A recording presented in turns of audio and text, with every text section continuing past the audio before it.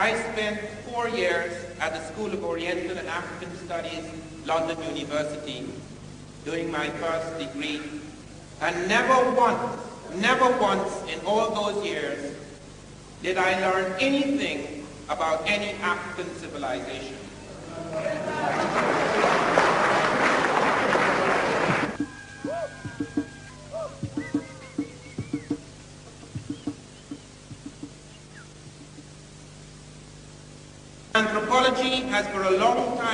Had a love affair with the primitive. And the great interest, almost exclusive interest, has been on that little man living on the edge of the world. And I know about that little man because I'm a primitive.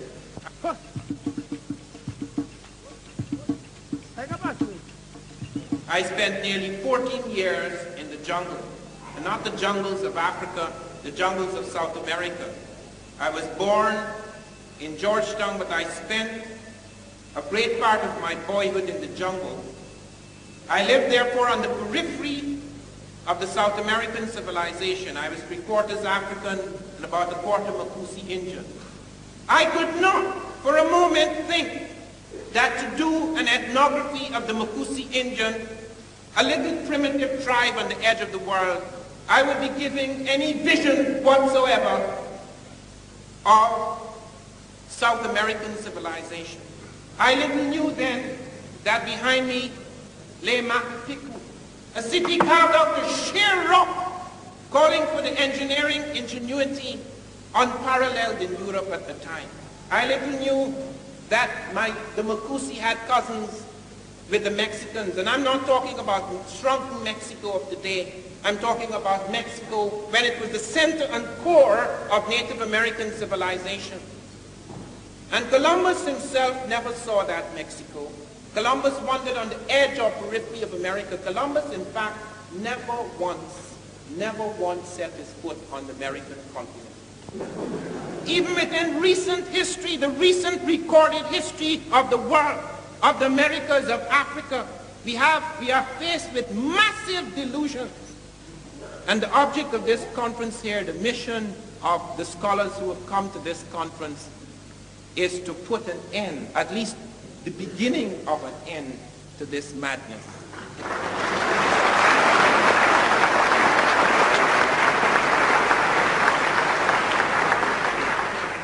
We know very little, or rather we have known very little of the technologies of early Africa because of this concentration on the primitive. I grew up in a jungle twice as large as any jungle in Africa. Africa, in fact, has less jungle than any other continent comparable with its land space.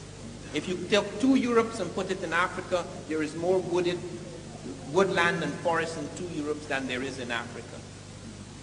Our image of jungle springs from the fact that most anthropologists, at least in the past, it may be changing slightly now, and with these studies, it will change even more rapidly. Most anthropologists have been satisfied to go looking for vanishing little tribes, utterly irrelevant, the Booga Booga and the Luga Booga. and they go and they spend six months a year and they study all they know about the Luga Boogas. All their little ritual and their dances and their kinship system, who is my mother's brother, sister, son, etc. Utterly irrelevant to any illuminating vision of African civilization. And they come and they extrapolate masses of things about it. And so we have thousands and thousands of books about Africa that tell us absolutely nothing about the quintessential African.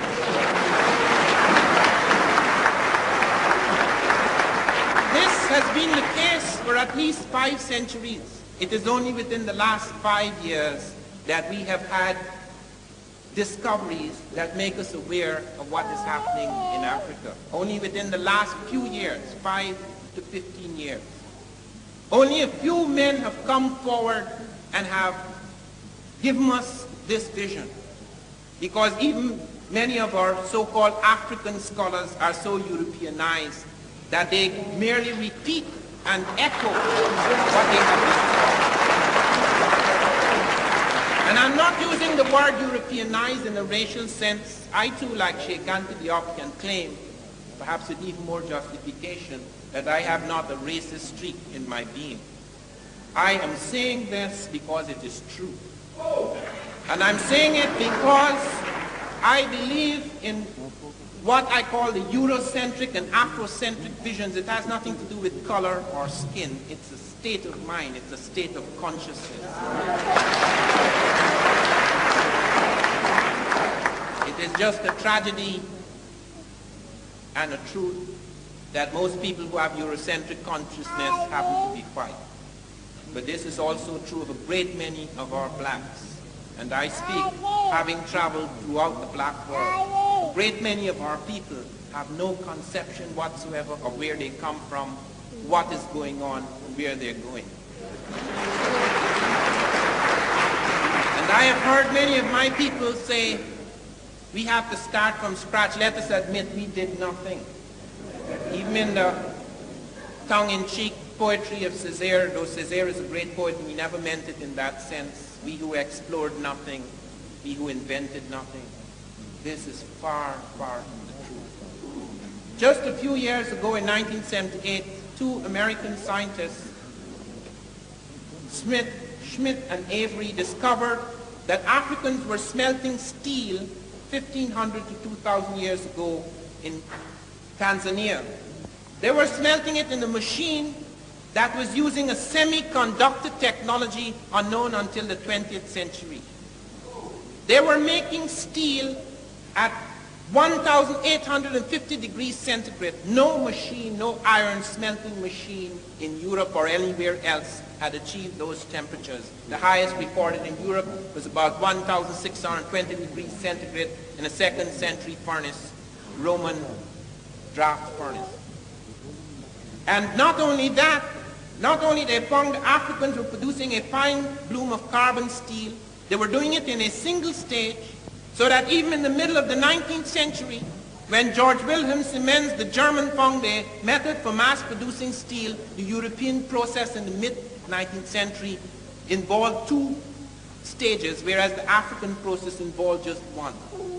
They were using iron crystallization process in order to produce that steel. And they were doing it not only more efficiently, not only were they producing a finer bloom of steel, but they were doing it using less fuel. The Africans were forced very early into fuel-saving technology. These things have only recently come to light, and they have changed our understanding of what really happened in the ancient world. And right in that area where you see these little shattered villages, that is where an industrial site had grown up 1500 years ago. We are often told about how we were dragged out of the bush and how colonization lifted us up. Few of us are aware. We are aware of what happened to the transplanted black, but very few of us are aware what happened to Africa itself. You cannot imagine what a Holocaust hit Africa. You cannot imagine what it is to take about 100 million people, the youngest people, and rip them out of the heart and core of a continent, the disintegration of family networks, the tremendous things that fell on Africa, the disease in one area in Tanzania, there were 5 million head of cattle. Europeans came in, introduced rinderpest, not deliberately, but they introduced it nevertheless. Almost all the cattle disappeared. You cannot imagine in the Americas, of people vanished just because of the common coal which Europeans had introduced in America. You're not aware of the massive destruction of civilization so that people could mock us now and says, are you talking about all the great things that you did? If you did all of these great things, why are you not great now? What has happened to you? Why are you so broken and shattered and fragmented and lost? Why do you feel so inferior? We feel inferior and fragmented because we have lost a sense of the wholeness of our history.